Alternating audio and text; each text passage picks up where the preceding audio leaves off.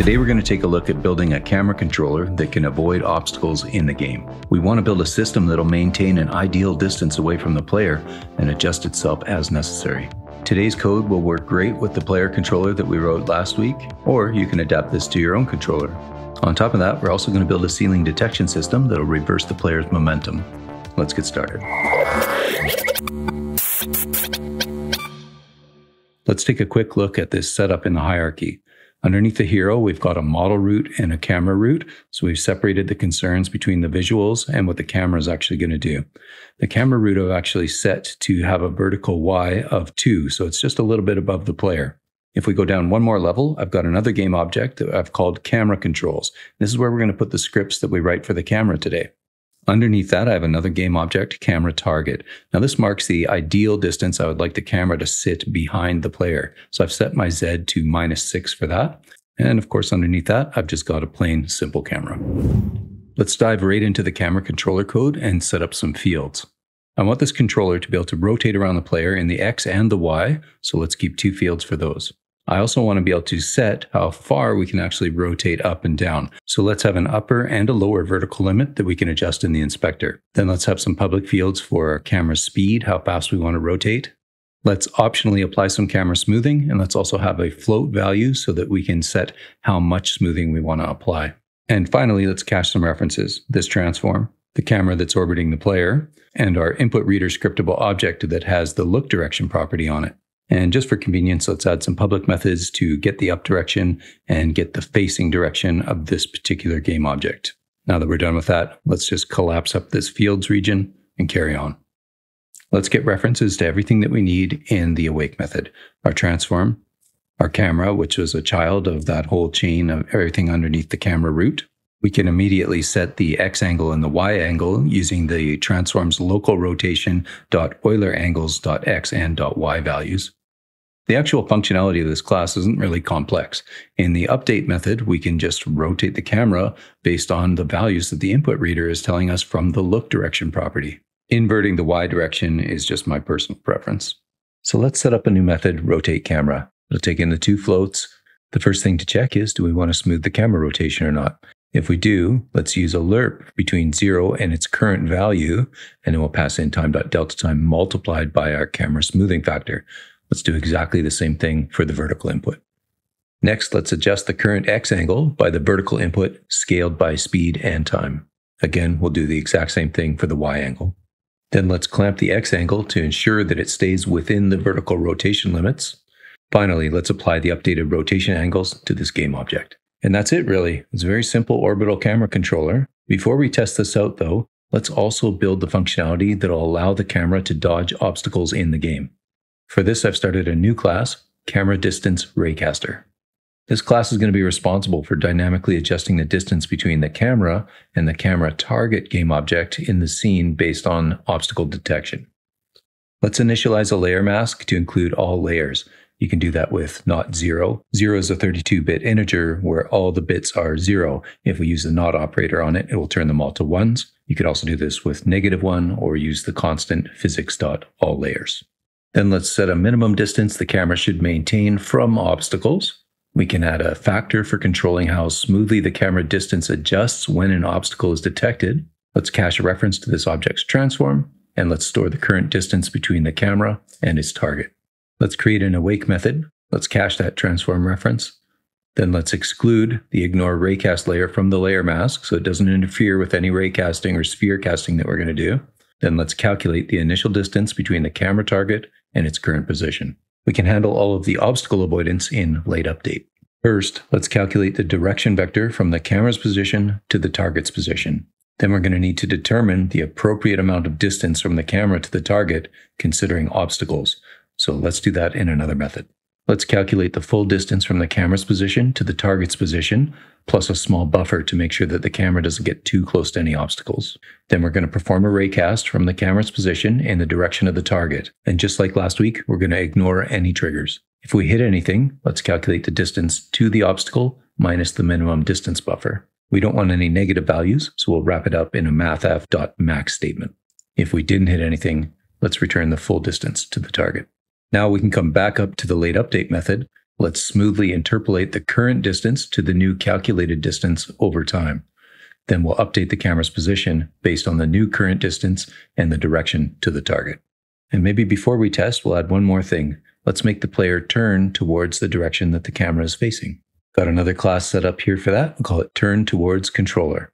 Last week, we set up our player controller such that if we give it a reference to an external transform, like our camera, we'll be able to move in the direction that that transform is pointing in. So our player controller already has that logic. What we need to do now is actually do the rotation of the model. So we're going to put this component on the model root.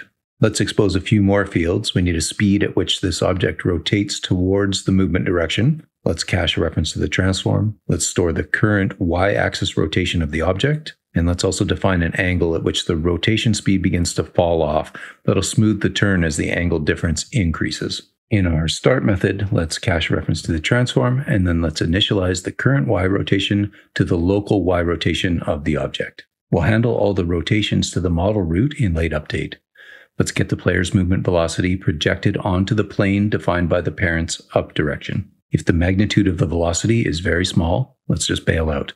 Otherwise, let's calculate the angle difference between the current forward direction and the velocity direction. Now we can determine the step size for rotation based on that angle difference, our turn speed, and that fall off angle. We can use mathf.sign to determine the direction to rotate in, and then we can use an inverse lerp to gradually reduce the rotation speed as the angle difference approaches the fall off angle. Then we can multiply all of that by time dot delta time and our turn speed. That'll give us a nice smooth turn step. Now, we don't want to overshoot our target during the rotation. So let's say if the step is larger than the angle difference, then we'll just rotate by the angle difference. Otherwise, we'll apply the step. Now we know what we want our current Y rotation to be. Let's apply it to the transform. Okay, well, that's all we have to do for this. I think it's about time we had a little test. So we've got a little bit of setup to do in Unity. I've already set my Y position on my camera root to 2. On the camera target, I've got the Z set to behind the player by 6. That's about right for what I want for this game. Now we need to add some components. So I'm going to come back to the camera controls and I'm going to drag on our camera controller and I'm going to drag on that camera distance raycaster. Now we've got to set some references here. I'm going to drag the camera target into its slot. I'm going to drag the camera into its slot. And I'm going to grab our input reader scriptable object and put it into the camera controller. So that's good enough. If I come up to the model root, this is where I want to put that turning component. So I'm going to grab the turn towards controller, drag that in. It needs a reference to our hero. I think I'm going to adjust this turn speed a little bit. 50 is going to be slow for a demo. Let's turn it right up to 500. Okay, let's hit play. Now, I want to make sure the camera is rotating smoothly, but I also want to make sure that if I turn the camera to point one direction, the player will rotate and walk in that direction. So this is looking pretty good. The turning is fast and it's, you know, looks pretty smooth.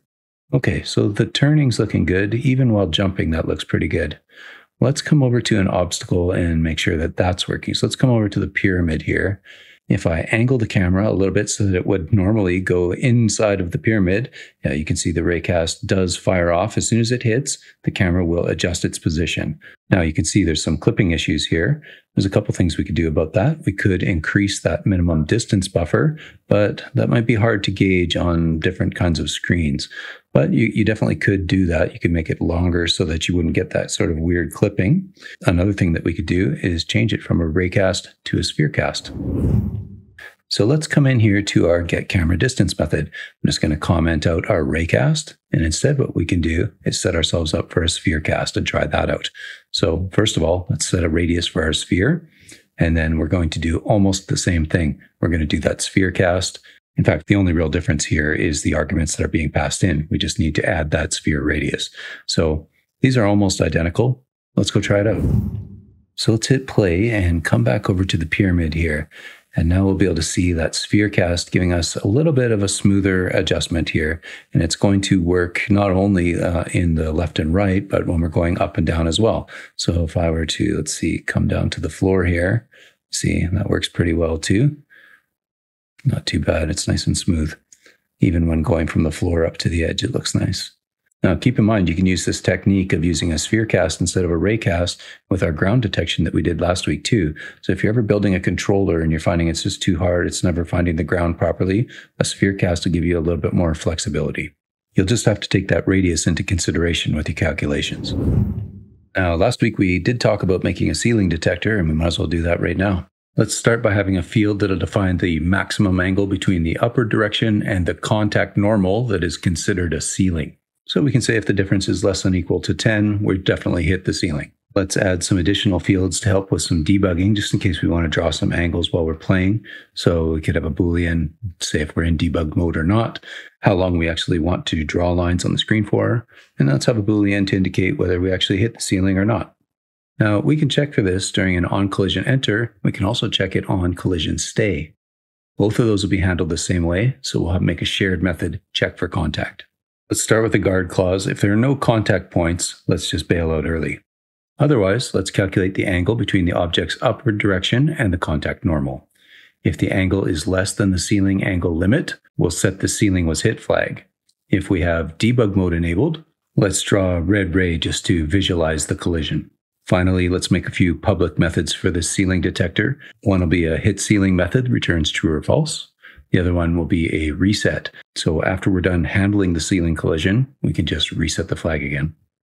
Now, last week we set up a state machine to handle all the different states and transitions in our player controller, but we don't have any transitions that involve hitting the ceiling. Why don't we add another one here that says if we're in the jumping state, we're going to move to the falling state as long as we have a ceiling detector and it actually returns true from the hit ceiling method. Now, the same thing applies if we're in the rising state and those conditions are true, we should then move to a falling state. Now, we should still reset those flags in the ceiling detector.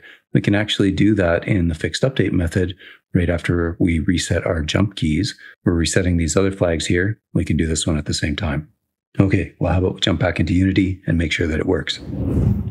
Well, let's grab that ceiling detector and drag it right onto the hero so that we'll have a reference to it. And I'm going to need some kind of ceiling. I'll grab this gear and just drag it up to here. That should be reasonable, but you know, just for the sake of testing, let's change the actual jump duration of our hero so that he can jump quite a lot higher than normal. Now, if I hit play here, let's just check it out. Like, how high can I actually go? Yeah, definitely higher than the gear. So come underneath and I hit it and it takes me back to the falling state. This is not very snappy though. I think what I'd really like is for it just to immediately reverse my momentum. Let's jump back into code and make one small adjustment. We have several methods here that are being called by our different states. Why don't we add another method that we can call when we enter the falling state? I'm just going to call this, let's say, on fall start. Let's figure out exactly what our current upwards momentum is using the vectormath.extract.vector method that we talked about last week. Next, we can remove all vertical momentum using the remove.vector method from the same class. Finally, we'll just subtract the magnitude of the vertical component in the opposite direction. That'll effectively reverse the vertical momentum. So we need to call this on fall start method from somewhere. And the perfect place to do that is in the falling state on enter method. So we haven't defined one of those yet. Let's make a new one here. All we have to do is call the controller on fall start. So let's hit play and see what happens when we do some jumping. If we come under the gear here, yeah, you'll see immediately we just get an immediate reversal of our momentum. That looks like a good point for a dust cloud or some kind of VFX. So anyway, regular jumping seems fine, but you got to remember this is going to fire anytime we enter the falling state, including walking off these ledges here. So we just got to make sure that still looks correct. And of course it does because our vertical momentum when we're walking off an edge is actually zero. There's nothing to reverse. Now, of course, that might be too snappy for some games, or you might think that it's not snappy enough. Of course, you can just change that logic. Well, that's all I've got for you today. Next week is going to be something totally different. And I was experimenting with a new brightness feature today. So if you found the code in today's video easier to read, let me know in the comments. Or conversely, if you found it harder to read, maybe it's too bright, let me know that as well, and I'll make some adjustments. Links to Discord and the code from this video in the description. Hit like, subscribe, and you can watch more videos from the channel by clicking on one of these boxes on your screen. Maybe I'll see you there.